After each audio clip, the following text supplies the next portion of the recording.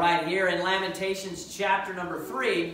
The particular verse that I want to focus in on is going to be verse number 22, where the Bible reads, It is of the Lord's mercies that we are not consumed. And then it says this, because his compassions fail not. I'm going to be preaching about having compassion on the weak, or specifically, I'm going to be preaching about, I want to focus on the Lord having compassion on the weak. This is a theme of God's character all throughout the Bible. Another verse I want to draw your attention to within this same chapter is going to be verse number 32, where the Bible reads, But though he cause grief, yet will he have compassion according to the multitude of his mercies. I want you to turn to Matthew chapter number 18, verse number 33, because I want to define for you what it means to have compassion.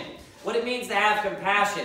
Now, as the Bible so often does, always does, really, it will define itself. It will give you the definition of a word. And actually, the definition of both of those verses that I just read was, was uh, instituted in those particular verses. Right here in verse number 22, it said this It is of the Lord's mercies that we are not consumed. And then it says, Because his compassions fail not. Verse number 32 again, But though he cause grief, yet will he have compassion according to the multitude of his mercies. The definition of compassion, it's not just showing love to someone, as a lot of people erroneously think. It's not just helping someone, it is specifically helping someone when they are in need of something. It is specifically showing pity or help to someone while they are suffering. It is helping a person that is weak or has an infirmity. Just like the idea of mercy. God shows us mercy and gives us grace in order to be saved. He's giving us something we need in, in a situation that it would be considered a desperate situation and where we can do nothing for ourselves. That is the definition of compassion. Uh, we also find the definition of, definition of compassion in Matthew chapter number 18, verse number 33. The Bible says this Shouldest not thou also have had compassion on thy fellow servant, even as I had, look at this, pity on thee. So there we find a more direct definition of what the word compassion means. It means to show pity on someone. And really, the word pity isn't used a lot in our modern vernacular today, but I'll tell you a way, a time in which you will hear the word pity used is oftentimes when someone is in a moment of distress, maybe a, a family member has died, and let's say that there is a, you know, a family member that they're not so close with, and they come to them and they, you know, they tell them, I'm here for you. What will they say? Don't, I don't want your pity. What, so notice the type of situation that that occurs in, that that word would be used in. It's in a situation in which they need help. A situation in which they're suffering. And what are they saying? I don't want your compassion. So notice compassion is not just love. Compassion is not just the feelings of good emotions towards someone, you know, uh, positive emotions. It is specifically showing someone love or help in a time of need. It is like pity is exactly what it is. Again, Romans chapter number 9, verse number 15, defined again as being mercy. It says, For he saith to Moses, I will have mercy on whom I will have mercy. And then he repeats himself. And I will have compassion on whom I will have compassion. So notice, compassion, pity, mercy. They're all used interchangeably. They're synonymous. The modern dictionary definition of the word uh, compassion is sympathetic pity and concern for the sufferings or misfortunes of others. So notice it is when someone is in a time of suffering, they are in a time of need, and when you show towards the, uh, you, you would uh, show towards them the emotions of pity. That is what compassion actually is. But we always get the Bible's definition, and you know what? It always lines up anyways. If the dictionary definition is correct, it'll line up with the definition of the Bible. We can always just go to the Bible, get the exact definitions. Hitty is what it is. I want you to turn to uh, Psalm chapter number 111, verse 4. We're going to look at some verses real quick where God repeatedly talks about that He is full of compassion, that He is repeatedly, the Bible will repeatedly speak of God as being full of compassion, of having great compassion. We saw there just in Lamentations chapter number 3, even in the time in which God had, had cast away his people temporarily, as far as he was punishing them for their great wickedness, he had destroyed their city, their temple, everything. It said even at that time that he was going to have compassion on them, that he was going to have mercy on them, giving them something that they didn't deserve, and also at a time of suffering. Make sure that you keep the correct definition. This word is misused oftentimes. Today is why I want to stress and emphasize the correct definition of the word compassion. Psalm chapter number 111, verse 4 says this He hath made his wonderful works to be remembered. And then it says this The Lord is gracious and full of compassion. So he's a gracious God. And notice what it says. It doesn't just say he's compassionate, it says he's full of compassion. He's full of compassion. Turn over to Psalm chapter number 86, verse number 15. A few of these are in the book of Psalms, so I'll just allow you to turn there with me. Psalm chapter number 86, verse number 15. Psalm chapter number 86, verse number 15 reads, But thou, O Lord, art a God, look at this, full of compassion and gracious. So again, we see gracious. What is grace like? It's like mercy. It's giving some, someone something that they don't necessarily deserve. That's what that means in a time of need. Long suffering, that's referring to being pa uh, patient, of course. It's an extreme patience. And plenteous, look at this again, in mercy and truth. So repeatedly we see those words being used over and over again. Look at Psalm chapter number 78, verse number 38. Psalm chapter number 78, verse number 38, the Bible reads, But he, being full of compassion, of course speaking of God, forgave their iniquity and destroyed them not. Yea, many a time turned he his anger away and did not stir up all his wrath. Look at Psalm, go back to Psalm chapter number 145, verse number 8. Psalm 145, look at verse number 8. The Bible says this Psalm 145, verse 8 The Lord is gracious and full of compassion, slow to anger, and of great mercy. So notice this the same phrase that's used repeatedly to speak of God. And you want to know a, a particular characteristic about God's uh, you know, uh, uh, personality? It's that he is full of compassion. I'm happy that God is full of compassion. You know, we mess up a lot, and I'm glad that his mercies fail not. I'm glad that his compassion, that he's always compassionate, he's long suffering, right? That God will continually, those that are saved, God will continually give you another chance. There are rare exceptions, Saul, but that's very rare exception. You know, he was he was in a very uh, you know, prominent position God sent prophets unto him, and he just repeatedly would not hearken unto his word. It's a very rare case where God will not show you mercy. It's a very, you know, and when you get into that situation, that's a, that's a, a, a very scary situation. But by and large, God will always show compassion. His compassion and His mercies will fail not. I want you to turn to Jeremiah chapter number 49, verse number 11. So we see that God is a God that is full of compassion. Once you understand what compassion is, it is Him showing His love to the weak. Him showing His love to those who are down and out, if you will. An example of this that is repeatedly brought up, and we're going to look at these specific examples, are people that are widows. Women that are widows. Another example is the fatherless. These are spoken of repeatedly as well. And the stranger. God, all throughout the Bible, pleads the case for the weak. For those that are weak. God, all throughout the Bible, from beginning to end, He, is, he shows compassion on those that are weak. The widows, the fatherless, and then the afflicted and the stranger. I want you to look at Jeremiah chapter number 49, verse number 11. He says this, Leave thy fatherless children, watch what he says, I will preserve them alive, and let thy widows trust in me. Notice what God says there. Notice the love that God has for them. He says, Leave them, and I'll take them. Leave thy fatherless children. Speaking unto the parents in this case. He says, and I'll take them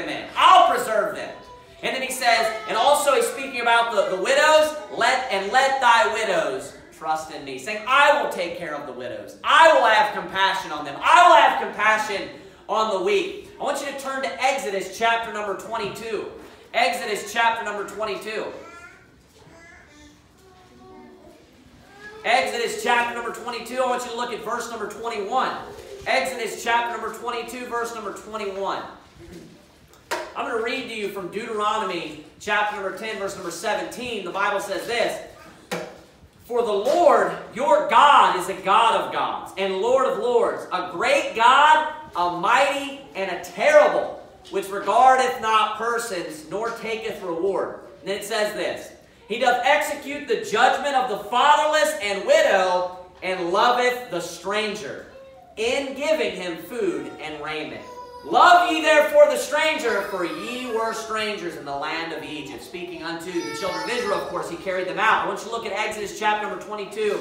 Let's look at verse number 21. Exodus 22, verse 21. It says, Thou shalt neither vex a stranger, nor oppress him, for ye were strangers in the land of Egypt. So you see him repeating that here. He's giving the commandment of the children of Israel not to vex, not to afflict the stranger, not to oppress the stranger. A foreigner is what we would we would use the word foreigner today, as opposed to the word stranger. It's not as common. That's what he's speaking of. A foreigner, someone not from their nation. If they were to travel there, he's saying, don't oppress them just because they're from another country. Don't afflict them just because they're from another country. You dwelled in another country. And how did that work out? How did you like being treated like a slave in the way that you were treated, right? So he's saying, don't vex them. You know what it's like, so don't do that unto them. Look at verse number uh, 22. Ye shall not afflict any widow or fatherless child. So notice how he puts it in the same category again, the stranger, and then he says, don't afflict the fatherless. Speaking unto, about a child that would lose his father, or the case before we saw that it was, it was worded in plurality where he would lose his, his parents in general, the father and the mother, and he was referred to as being fatherless. So this could also be, uh, uh, you know, termed or defined as someone who has lost both of their parents, right? So we see here, uh, again, verse 22, you shall not afflict any widow or fatherless child. Verse 23, if thou afflict them in any wise, and they cry at all unto me, I will surely hear their cry. Notice God's love. That's what you can really see there. You can see God's love for the fatherless and for the widow. You know why? Because it's easier to take advantage of someone that is weak. It's easier to take advantage of someone that cannot defend themselves. It's easier. You know where, uh, you know, oftentimes people prey on older women that, that stay at home. Oftentimes, you know, they'll put specific ads on the television when they know that, you know, there are older women at home. You know, they try to take advantage of them. They don't have a husband there to protect them. The, the salesman, it's very well known that even uh, just women in general, when they would be, when, uh, when the men would go to work, that's when the salesmen would go out during the day. They're more gullible. It's just a difference in our personalities. And they would try to sell them different things. You know, because they would try to, you know, the Bible talks about how the woman is the weaker vessel. So they would try to go when the man's not there to protect the home, and then they would try to, you know, be a con artist and to con them out of this. So the woman that is left there, what does she not have? She does not have her husband to protect her.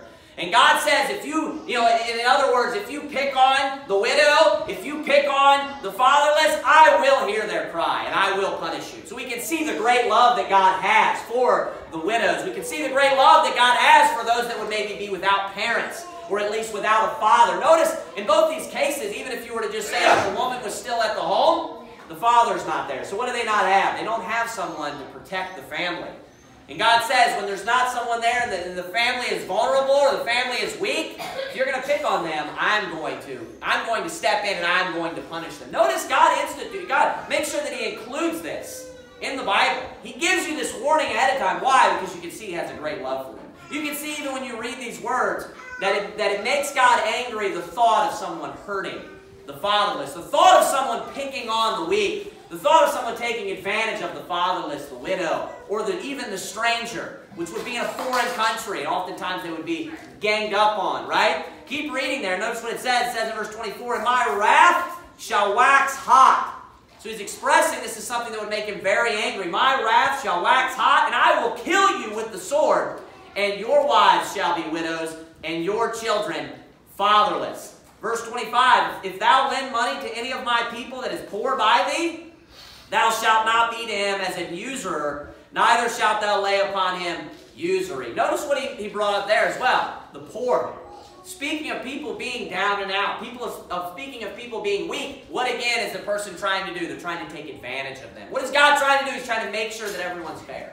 Right? And you can see that God has compassion on the weak. You see that God has compassion on those that have infirmities. In this case, you know, the fatherless, the widow, the stranger, the poor, right? Keep reading. Verse number 26. If thou at all take thy neighbor's raiment to pledge, thou shalt deliver it unto him by that the sun goeth down. The neighbor, neighbor's raiment would be like his outer jacket or outer coat is what we're talking about. Verse number 27.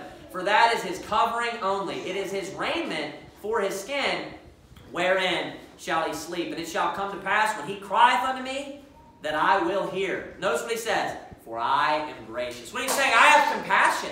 I'm gracious unto the weak. I will show grace or I will show mercy. I will show pity on them.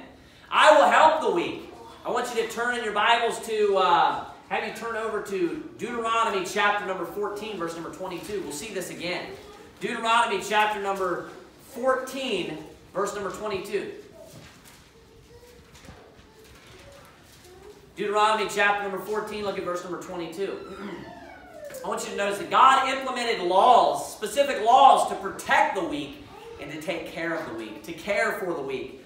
Not only did he warn people about, about taking advantage of the weak, taking advantage of the fatherless, the widow, the stranger, the afflicted, the poor, he also implemented certain laws where people would be punished if they were to take advantage of. Not only did he implement laws where they would be punished, punished if they took advantage of the weak, but also he, he put laws into place to help support the weak. I want you to look here in Deuteronomy chapter number 14, look at verse number 22. The Bible says, Thou shalt truly tithe all the increase of thy seed, that the, that the field bringeth forth year by year. And thou shalt eat before the Lord thy God in the place which he shall choose to place his name there. The tithe of thy corn, that's a tenth. A tithe means tenth. So a tenth of the corn of the fruit that they would bring in is what it's saying.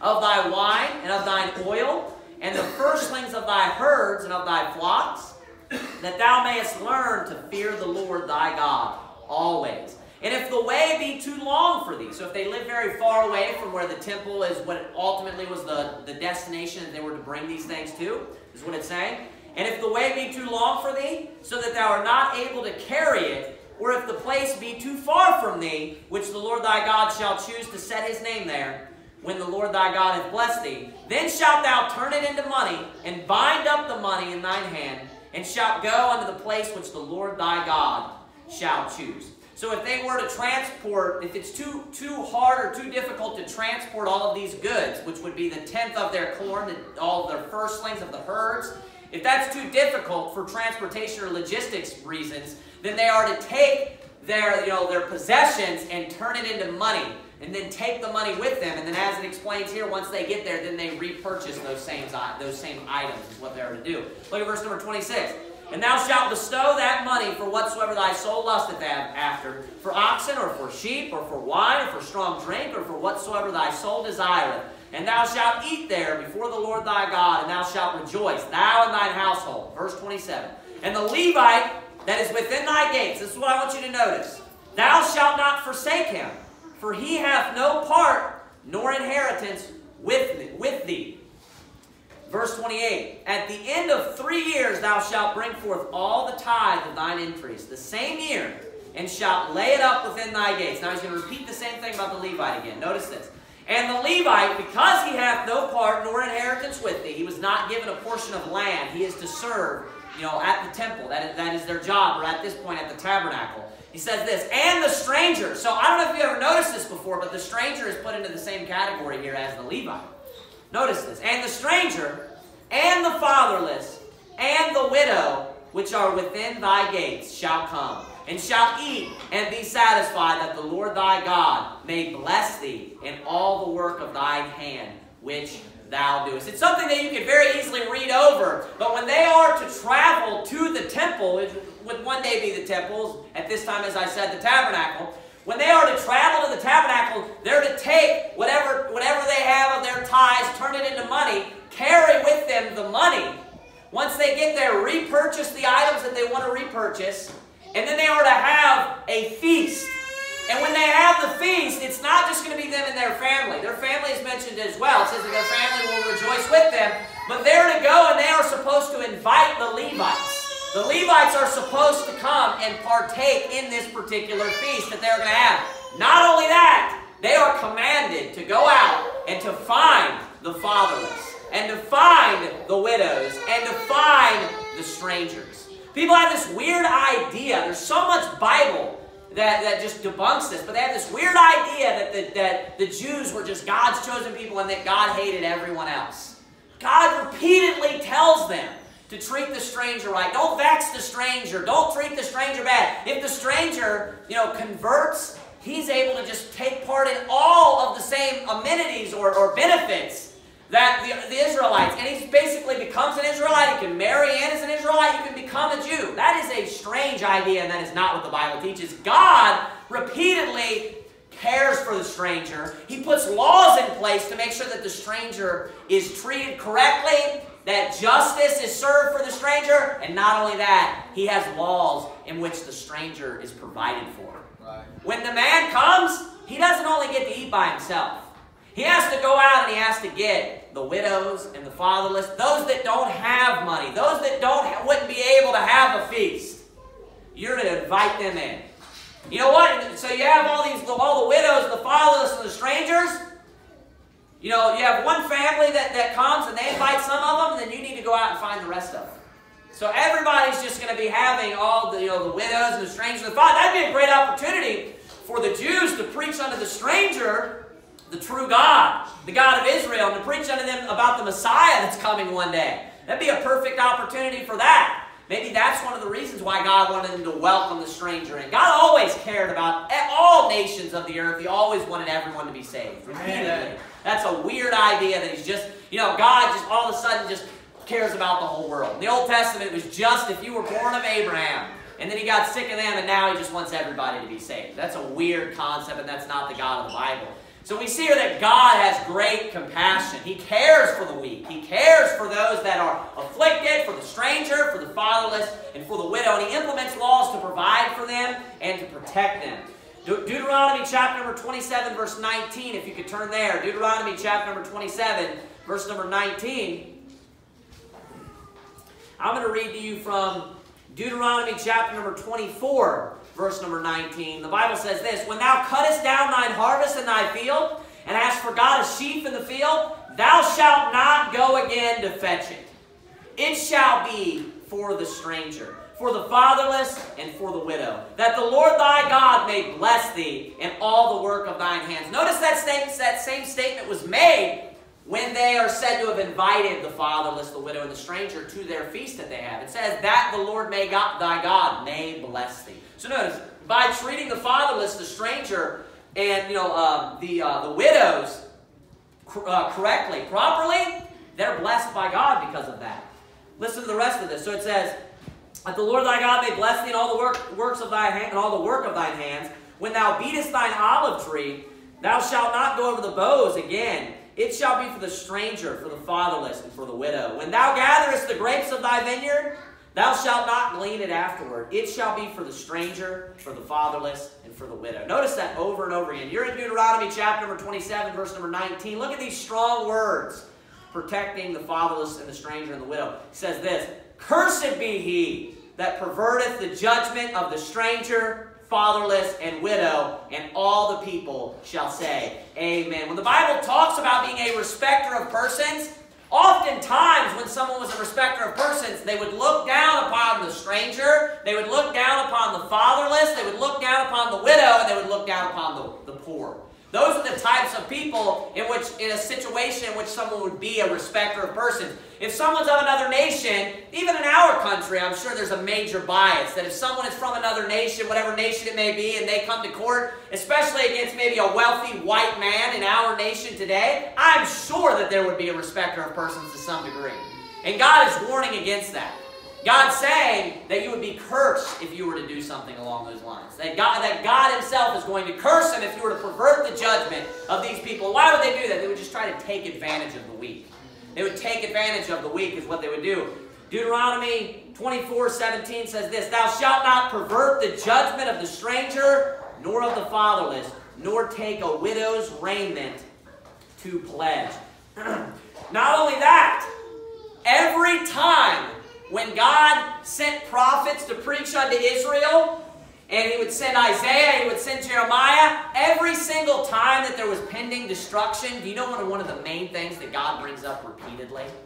The way in which they treated the fatherless, the widow, and the stranger. Isaiah 123 says this, Thy princes are rebellious and companions of thieves. Everyone loveth gifts. So notice they're taking a bribe is what they're doing. They love gifts, it says, and followeth after rewards. They judge not the fatherless, neither doth the cause of the widow come unto them. So notice, they love gifts. They're receiving gifts and it's perverting their judgment. And that's actually a law. Don't receive gifts because it'll pervert your judgment. That's what's going on because the poor's not able to pay anybody off. The widow's not able to pay anybody off because she doesn't have anyone working for her, right? The fatherless can't do anything. She's probably just a child in a lot of cases, right? And, and notice here Ezekiel, I want you to notice this pattern. You, you turn to Jeremiah chapter number 22. I want you to notice this pattern where God is repeatedly rebuking the nation of Israel when he's getting ready to send in, you know, the Babylonian Empire. He's getting ready to send in, you know, uh, all these armies to destroy them. You know, the pending doom and destruction, one of the things that, that, that made him mad, one of the things that brought his anger upon them and this destruction upon them was because of the treatment that they gave to the fatherless, the widow. Ezekiel 22, 17 says this, In thee have they set light by father and mother, saying they didn't take it seriously. You know, they set light by father and mother. In the midst of thee have they dealt by oppression with the stranger. In thee have they vexed the fatherless and the widow. Look at Jeremiah chapter number 22, verse number 3. If you're familiar with the, uh, you know, the, the major prophets, the minor prophets even still, they are constantly just preaching the day of the Lord, punishment that's coming. So that's the context here in all these books I'm reading. Jeremiah 22 3 says, Thus saith the Lord, execute ye judgment and righteousness, and deliver the spoil out of the hand of the oppressor. And do no wrong, do no violence to the stranger, the fatherless, nor the widow, neither shed innocent blood in this place. I want you to turn to James chapter number 1, verse number 27. We read this last week, but I just want you to show, I want to show you the consistency with the New Testament. It's the same God of the New Testament that it was of the Old Testament. Nothing changed. Look at James chapter number 1, verse number 27. People will say, oh, you know, religion's a bad thing. You know, we shouldn't have religion. Religion's a good thing. Religion is a good thing. You want to throw out religion where you're going to start treating the widows badly? You're going to start treating the fatherless poorly? Because that's what the Bible defines as religion. You're going to stop keeping God's commandments? Because that's religion. Look at James chapter number 1, verse number 27. The Bible says this, Pure religion and undefiled before God and the Father is this, to visit the fatherless and widows in their affliction and to keep himself unspotted from the world. I want you to notice the importance of treating the fatherless and the widows correctly. When God goes to define pure religion, you know what one aspect of that? There's two components. One is to visit the fatherless and the widows. That's one of the points of pure religion. You may not have heard sermons about this, but it's very important. Do you know if I had to define pure religion for you, I'm going to use the Bible to do it. You know what I would say? You know, to visit the fatherless and the widows in their in their afflictions and to keep himself unspotted from the world. It's to keep God's commandments, but do you want to know something that God stresses repeatedly all throughout the law?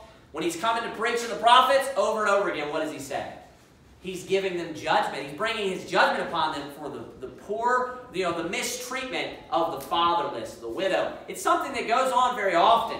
Pure religion and undefiled before God and the Father is this, to visit the fatherless and the widows in their affliction. You see the importance of that. I want you to turn to Matthew chapter number 9, verse number 36. This is seen all throughout the Bible where God will hear the cries of people, and, and as He said that He would, of course, and He will, you know, judge a nation. That's what took place in the situation with Sodom and Gomorrah. You know, He heard the cries. Probably of children being raped, probably of children being abused, probably of children being sodomized. A terrible thought. You know what? God punished that nation because of that. Do you know the reason why God led the nation of Israel out of Egypt? Because he heard their cries. Because they were being mistreated by you know, the Egyptians, by those of which were, were native or aborigines to that land. They were mistreating the stranger like people so often do. And God heard their cries while they were being mistreated. God judged the nation of Egypt, showing again you know, his great displeasure for the mistreatment of strangers, and then he led them out and showed his compassion on the nation of Israel. So repeatedly, we see this.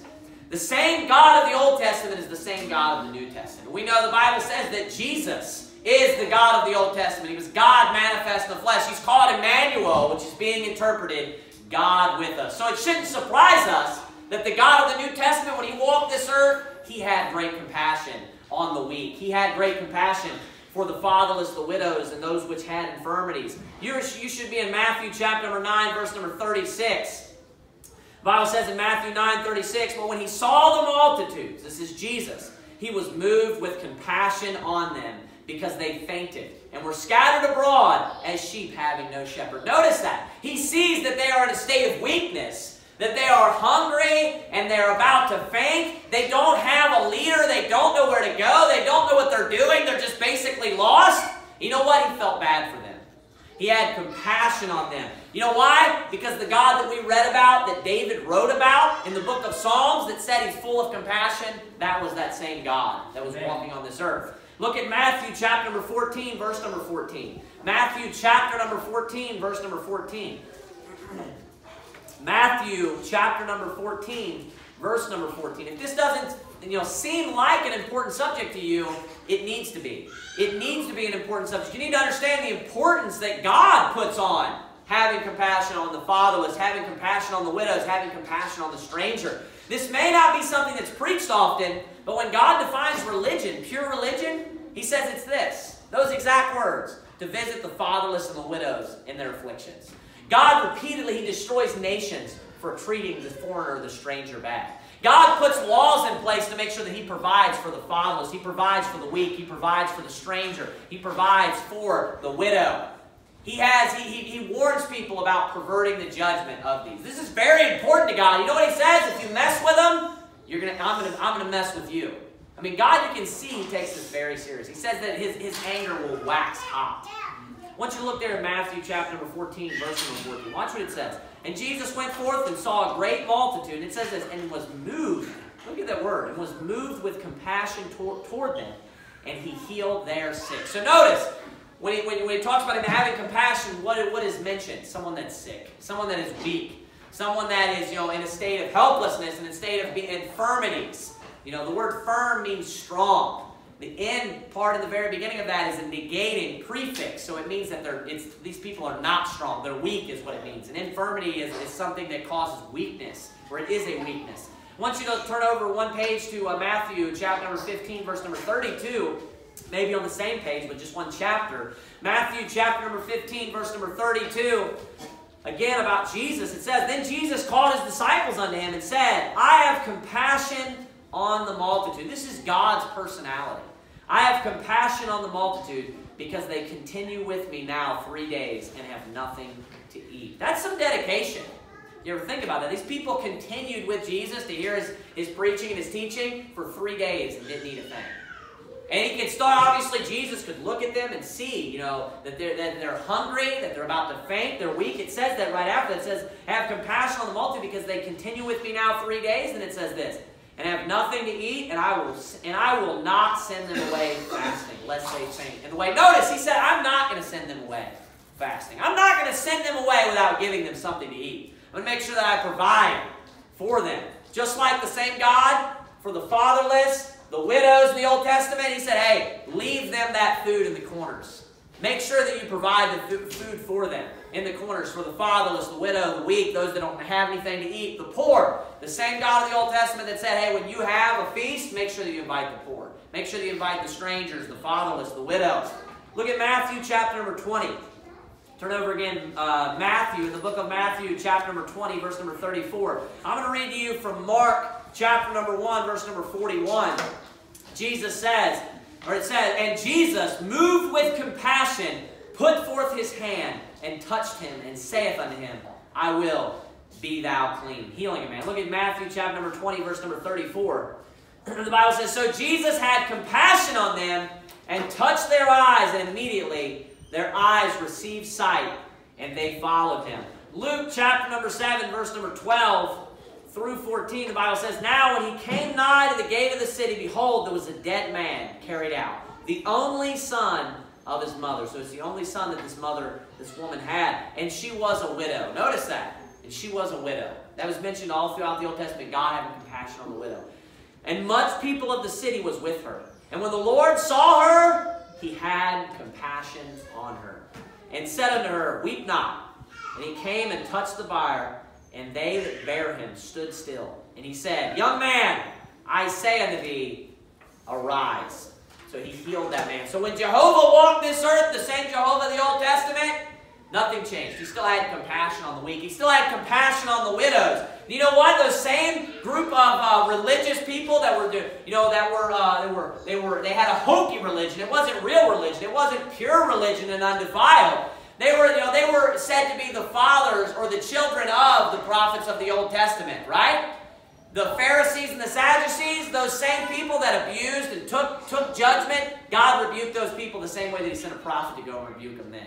Jesus, when He walked this earth, He's the same Lord of the Old Testament, and He rebuked those people for what? For eating up, you know, the devouring widows' houses. That same God that sent prophets to preach about the way that the widows were being treated that wasn't right, that same God rebuked the children of those same fathers in the Old Testament, that He sent prophets, that He warned them about the mistreatment of widows. I mean, if you haven't noticed this before in your Bible reading, I hope you noticed that tonight the emphasis and how God repeatedly stresses, and this is a part of God's character.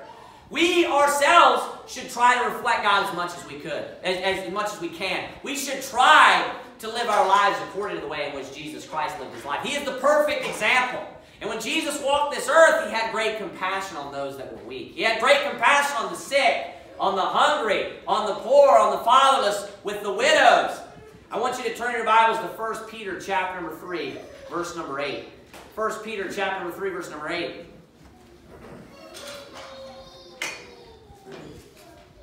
First Peter chapter number 3, verse number 8. We're also commanded or told to have compassion. And we're not going to look at all these verses. I'm almost finished but I want to read a couple where this is mentioned. I want to give you a couple of uh, practical applications in which you can apply this in your lives. Look at 1 Peter chapter number 3, verse number 8. The Bible says, Finally, be ye all of one mind, having compassion one of another. Then it says this, love is brethren. Watch this. Be pitiful. That's the same word as compassionate. Notice that. Be pitiful. He says, be courteous. So we should be having compassion one of another. If there's someone that has an infirmity in our church, if there's someone that has a need in our church, you know, uh, someone that's like I had uh, used this phrase earlier, they're down and out, whatever's going on, whatever their problem may be. If someone has a financial hardship going on in their life, I would hope the first place that they would think that they could turn to is the church. I would hope that the first place that they would come to, if they really had some sort of financial struggle and they had to have some money right then, I would hope that we could come together as a church and help that family out. I would hope that they would already know that that's what the church is for. You're supposed to be compassionate. You're supposed to have pity on people that are, that are weak. And that, remember, that is the definition of compassion. When someone is in need, it's, ha- it's, you know, it's having pity on people when they're suffering. It's having pity on people when they're having you know, some sort of trouble. You know, also, showing compassion can just be, you know, uh, uh, the, the emotions that you would show to someone. It would be, you know, a condescending down to their level, you know, showing empathy, you know, uh, you know, uh, showing emotions and loving that person and at least even just giving them. Maybe you don't have the finances in order to help a person get out of the hole that they're in, but maybe you can at least be a shoulder to cry on, if you will. By the way, I'm broke. I need some money. No, I'm just kidding. You know, you, know, you at least you should at least be able. They would know, like, hey, you know, I at least can go to them and speak to them. You know, they can at least come and try to talk to you about something. You know, we should have compassion. We should be known that we care for someone when they're weak. You know the type of person that doesn't are prideful people. That they're only concerned about themselves. They're only worried about, about themselves. They can't even understand what's going on in other people's lives because they're so just self-absorbed. Really, that's what's going on. They can't even reflect. They, they, they just go around in their lives and they're only just constantly just thinking about what's going on with themselves. They won't even recognize when someone is having a bad day. When someone is going through a hardship because they're just so just the world revolves around them. They're self-centered. We shouldn't be like that. We should we should love and care, especially for those at the church. I want to look at uh, go to Jude. Chapter number one, it's the only chapter, of course, of the book of Jude. I want you to look at something else. I'm going to read to you from 1 John chapter number 3, verse 17, which reiterates the same point. But whoso hath this world's good, and seeth his brother have need, and shutteth up his bowels of compassion from him, how dwelleth the love of God in him. This world's good. That's talking about a financial, you know, uh, talking about someone having a financial hardship. That's talking about finances. Talking about, you know, money. You have this world's good. This world's good would be money, would be, you know, possessions, things. And if you have that and you see a brother in need, you know that a brother is in need and you just have money sitting in your bank account and you don't help them, if this bothers you too stinking bad, the Bible says that you don't have the love of God in you. Right. If you know someone that is, that is at our church and they are in need of money and you know about it and that money is sitting in your bank account and you watch them have a hard time, you do not have the love of God in you.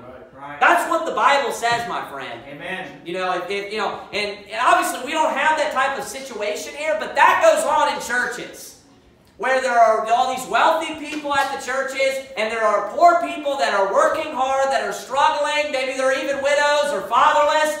And you got a bunch of just, you know, uh, wealthy people sitting in the front rows who don't give a crap about people. They don't reflect God. That's nothing like what the Lord's like. He didn't care about money in the first place, but if he would have had it, he would have given it away.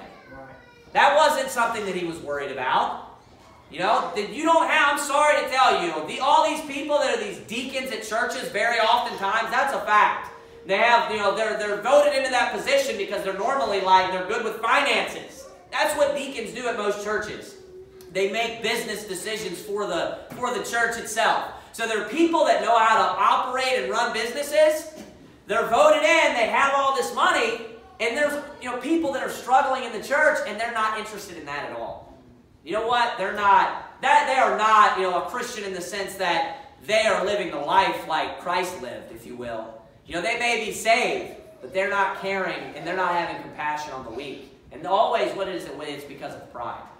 Right? It's because of pride. I would hope that everyone here would understand that, that if there is a hardship, that everyone would come together even. If, even if, you know, even if we are all poor and broke, you know, maybe one guy can't help you out, but collectively we'll try to help you out. We'll give you whatever we get. You know, I would hope that if you have something sitting around that's that's I would do this for anybody here. If I had something sitting around that I didn't use anymore, you know, whatever it may be, you know, just anything that's worth money, a gun or something, and you were like in a in a serious situation where your house is you can't pay, you know, your bills, I would sell that gun and I would give you that money. There's many people in here that I've helped out financially. And if you ever have a problem, you can come to the church. And we'll come together and we'll figure something out for you because that's what the church is for. Amen. And I'm not kidding about this. If someone, you know, if I found out that, that, that someone deliberately, and it would have to be a certain situation where they just weren't interested in helping someone out, I would rebuke that person. And I knew that they could help someone out, and it was only because they were just a greedy person, I would rebuke that person. You know, we need to be caring for people. We need to care and love our church family. That's important. There's an emphasis on loving the church, Amen. loving the brethren. It's a new commandment, Christ said in the New Testament. Amen. You know that we should be we should love each other so much that that's what Valiant Baptist is known for. Is you're willing to just die. If you're not willing to give $100, you sure aren't going to die for me. I know that for a fact. Right? You know, money should not be important in the first place. Man. That should not be something that we're putting all of our emphasis in life right. on. That should not. It comes and it goes right. very quickly. You know, and that we should be laying up treasures in heaven, not treasures on this earth. That should not be important to us. You know, we should have love for our brethren. If you have that, this world's good, and you see your brother in need, you should be able. You should be willing to give that to him. You should be willing to give that to him. So here I want to look at Jude chapter number 1, verse number 22. Notice what the Bible says here. And if some have compassion, making a difference. So we see here having compassion, making a difference. When you're showing when you show compassion, you're going to make a difference. Now see what it's talking about. Verse number 23, it says this, And if some have compassion, I'm sorry, making a difference, and others save with fear. Verse number 23, pulling them out of the fire, hating even the garment spotted by the flesh. We should not only have compassion on our church members, on our fellow brethren, we should have compassion on the lost world out there, people that are unsaved. We should desire for them to be our brethren. We should desire for them to get saved. So you should have compassion on your brethren. You should love your brethren. You should help your brethren in whatever sense it may be. Emotionally, be a shoulder to cry on, or maybe you need to help them financially, whatever it may be. Or maybe they just need an item that you have for some reason at their house, or maybe they just need your services. There's many things, you know, that someone may need. Maybe you do something that needs to be fixed. You can go there and help them, whatever it may be. It doesn't matter. Just anything in way, any way in which you're able to benefit them. But not, not only should we have compassion on the brethren, we should have compassion on the lost. And you know what you know what you need to do? You need to not just, you know, feel it in your heart. Not just, you know, have compassion on them in their heart in your heart. You need to go give them something that's greater than this world's good.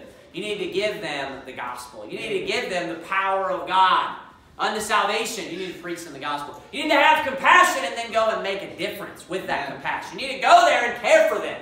You know, the more you go soul winning, the more you care for people. Right. You know, that's that that is true. That is true as all get out. The more you go to people's doors, the more you look face to face to someone and speak with people and see people and hear the answers and understand how lost people really are out there, and they don't have God and they don't know how to get to heaven, and their lives are just a wreck. You know what it makes you do? It makes you have more compassion yeah. on people. So you need to go soul winning more. You need to go out soul winning. So not only love the brethren, you need to love the lost world. I want to give you the last example here. Turn to Luke chapter number 10, verse number 25.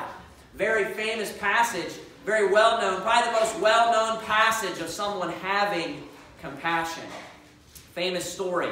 Luke chapter number 10. Luke chapter number 10. I'm going to read this last verse to you here. Again, I'm putting the importance on, you know, having compassion. And oftentimes it is the fatherless, it's the widow. Having compassion in general, it, it's not just showing love, but it's showing love or, or compassion to someone who is weak, who is in a state of weakness, who needs help. They're helpless, and it's a, a, you know, sympathetic pity is what the, uh, the modern definition is in the dictionaries. Isaiah 117 says this, Learn to do well, seek judgment, relieve the oppressed, judge the fatherless, plead for the widow. Notice the importance of this. Pure religion is defined in the very first thing he says. I want this to sink in. Pure religion is defined, and the very first thing he says is, is helping the fatherless and the widow when they're in afflictions, in their afflictions. Then he says this in Isaiah 117, learn to do well. She's going to tell you, you know, living a good life, well would be grammatically correct. We say, we word it that way oftentimes. You want to live a good life, learn to do well, a, a good life in the sense of keeping God's commandments, this is what you need to do. Seek judgment, relieve the oppressed. That's the weak. Those are those like the people that are being, you know, oppressed is someone that's being hurt or pushed down is what the word oppressed actually means. They're being uh, taken advantage of, if you will. Judge the fatherless, plead for the widow. Notice that. There's importance in helping the weak. All throughout the Bible, God has compassion on the weak. He's a great God. We should try to follow his example. Look there in Luke chapter number 10. I want to look at, we'll begin in verse 25 is where the context begins. You should have a paragraph marker right there. That's what, in between the verse and the first word there, that is what that is. It's called a paragraph marker. And behold, a certain lawyer stood up and tempted him, saying, Master, what shall I do to inherit eternal life? He said unto him, What is written in the law? How readest thou? And he answering said, Thou shalt love the Lord thy God with all thy heart, and with all thy soul, with all thy strength, and with all thy mind, and thy neighbor as thyself. And he said unto him, Thou hast answered right. This do, and thou shalt live. But he, willing to justify himself, said unto, said unto Jesus, And who is my neighbor? I want to make a point real quick that's very, very much off topic. You guys remember uh, a few Sunday mornings ago, I preached a sermon on, uh, on humility and repentance. And notice how I mentioned in that particular sermon that all throughout the book of Luke is where you find these statements of men justifying themselves and an emphasis being put on humility is what brings repentance and the pride heart is what you know withstands the true gospel. This is the book of luke. Again luke chapter number 10 and notice that statement that is made. It's a, it's a strong theme throughout the book of luke all throughout the book of luke. But he says but he willing to justify himself said unto jesus and who is my neighbor now i want to focus on this story. And jesus answering said a certain man went down from jerusalem to jericho and fell among thieves which stripped him of his raiment and wounded him and departed, leaving him half dead. So notice this man is in a, a state of weakness. He's helpless. Verse 31, And by chance there came down a certain priest that way. When he saw him, he passed by on the other side. And likewise, verse 32, and likewise a Levite, when he was at the place, came and looked on him and passed by on the other side. Verse 33, but a certain Samaritan, as he journeyed, came where he was. And then it says this, and when he saw him, he had compassion on him. Verse 34, and went to him and bound up his wounds, pouring in oil and wine, and set him on his own beast, and brought him to an inn. So he put him on a donkey, whatever he was riding, and took care of him. And on the morrow, this is just a stranger that this guy does not know at all. This is a man that, that isn't even of, he's a stranger in the sense he's a foreigner as well. I want you to notice the emphasis on that also with the theme of the sermon. The theme all throughout the Bible. This is a, a, thread that goes all throughout the Bible. Keep reading there, verse 35. And on the morrow when he departed, he took out two pence and gave them to the host, and said unto him, Take care of him, and whatsoever thou spendest more, when I come again, I will repay thee. Notice this man doesn't even know this guy. And he's willing to take out all this money, pay whatever needs to be done. He said, You know what? whatever money it, it is required in order to you know, nurse this man back to health and to pay for him to have a place to stay, when I come back, I'll pay you what needs to be done. He doesn't even know this man.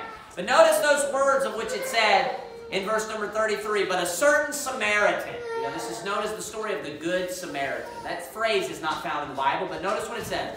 But a certain Samaritan, as he journeyed, came where he was, and when he saw him, he had compassion on him. We should follow the example of Christ.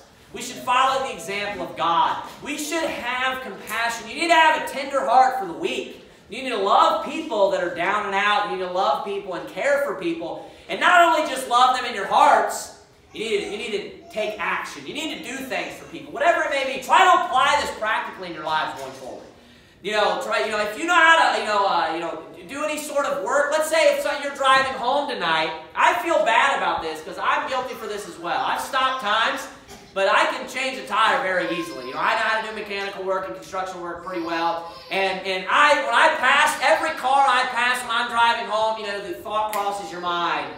Like, I'm just busy, I gotta get home and go to sleep, whatever it is. But you know what? You should stop and help those people. You should. If you know how to change a tire and there's somebody you know, on the side of the road, you should stop your car and go and help those people. You know, what if you missed 20 minutes of sleep? Is that going to kill you? You might have gotten that person home two hours beforehand, and they probably, I'm sure they had to work the next day too. You know, you should have compassion on people. This guy, this is not just a brethren of him. And think of this. This is a parable that Jesus is saying this guy was neighborly, is what he ends up saying. This is good with what this person did here. This is just someone that he just doesn't know. He's not of his nation, he's a Samaritan. You know? You shouldn't just say, oh, that guy's not white, I'm not that guy's not black. That's one of the points he's making here, of course. But there's more than that. He's obviously showing, you know, an, an interesting point as well from this, and uh, Brother Elliot actually preached this a long time ago, is that everyone, you could prove everyone is not your neighbor from this passage, because he says the words, which of which, singular, of these three was neighbor unto him. Not all of them are his neighbor. So people say, love your neighbor. Well, that's not everybody. The Only one of three in this case was his neighbor. You understand? But, but the point is this. You need to have compassion on people. When you see someone down and out on the side of the road, and you know, you know, they don't know what they're doing. They're, you know, they, people sometimes just don't have a lot of contacts too. I mean, you know, when you have friends you can call, you have family you can call.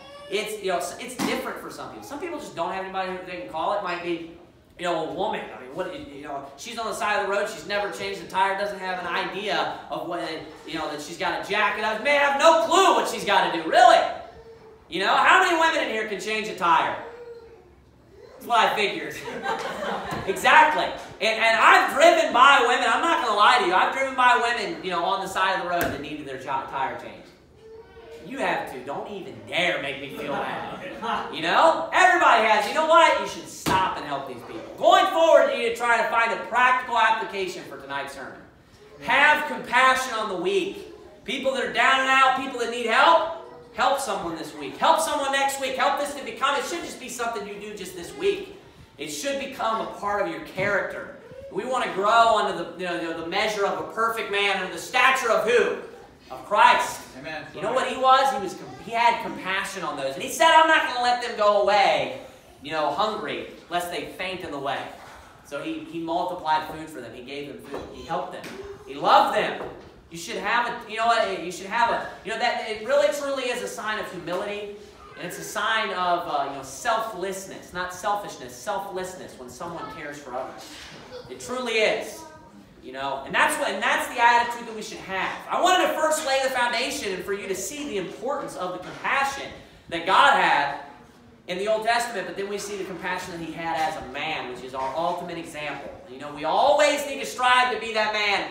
We should always have compassion on our brethren, but not only our brethren, we should have compassion on anyone who is down and out, and anyone, you know, whoever it may be. We need to preach the gospel to those that are lost, people that just need help, whoever it may be. Have compassion in your life. Be a person that is known as great, greatly compassionate person. Let's bow our heads and have word of prayer. Dear Heavenly Father, God, we, we thank you, dear Lord, for being a great example for us, dear Heavenly Father. We thank you for being a God of compassion and showing us compassion when we deserve to go to hell. When we were in a state of damnation. You were willing to come and to give us strength and to give us the Holy Spirit and all the things that we don't deserve. We thank you for your great mercies, and we're thankful that they fail not.